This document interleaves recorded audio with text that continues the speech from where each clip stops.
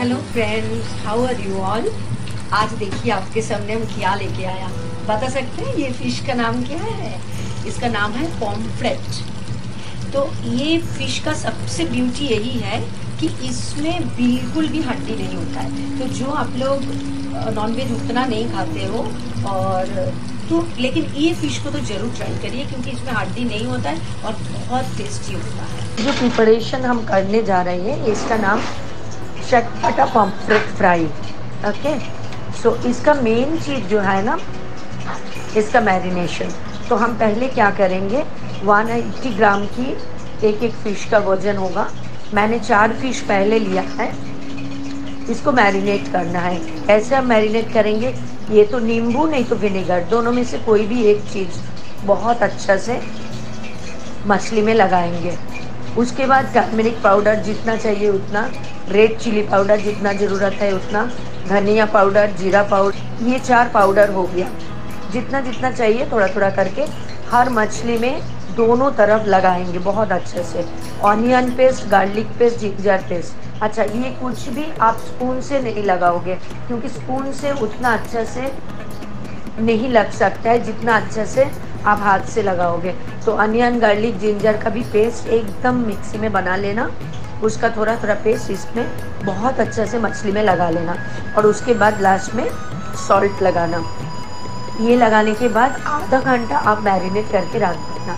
अच्छा एक चीज़ हम बताएँगे, उसके बाद फ्राइंग पैन में वाइट ऑयल में ही ये फ्राई होगा, ठीक है? आप वाइट ऑयल ले लीजिए, बहुत अच्छे से ऑयल गर्म हो जाएगा, जब वहाँ से उसी टाइम पे चूल्हा कम कर दीजिए। देने के बाद तब मछली उसमें छोड़िएगा। अच्छा एक चीज़ इसमें बोलना है, बंगाली पीपल छोड़ के नॉन बंगाली लोगों का एक शिकायत हमको हमेशा मिलता है कि मैडम, मछली फ्राई करने जाओ तो वो कढ़ाई में लग जाते हैं, टूट जाते हैं। ये ये कैसे मतलब ये प्रॉब्लम हमेशा उन लोग फेस करते हैं। तो हम जो बोल रहे हैं, अभी इसको ध्यान से सुनिए। फ्राइंग पैन में तेल को बहुत अच्छे से गर्म होने दीजिए। उसके बाद रेगुलेटर कम कर दीजिए।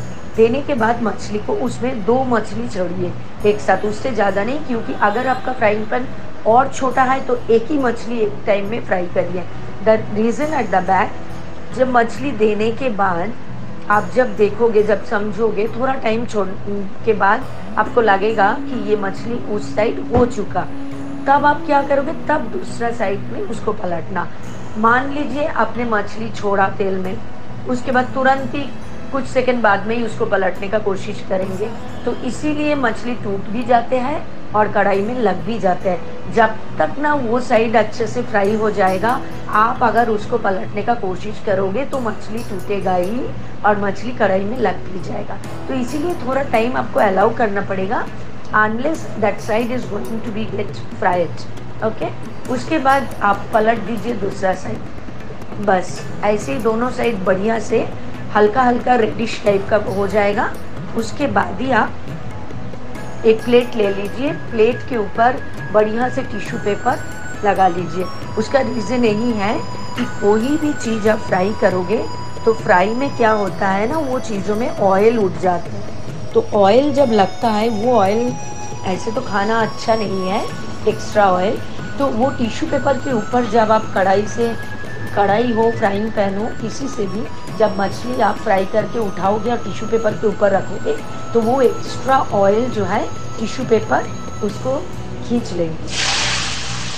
तो इसमें क्या होगा ना, आपको मछली में बिल्कुल भी ऑयल उसका बॉडी में नहीं रहेगा।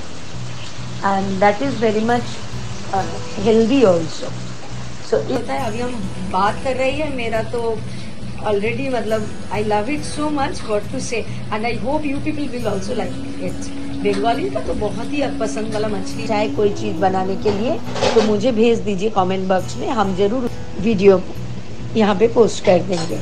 और ये पॉम्प्रेट फ़िश चटपटा वाला आपको कैसा लगा, आप ज़रूर बना के खाइए और मुझे कमेंट बॉक्स में लिख दीजिए कि आपको कैसा लगा। Thank you so much stable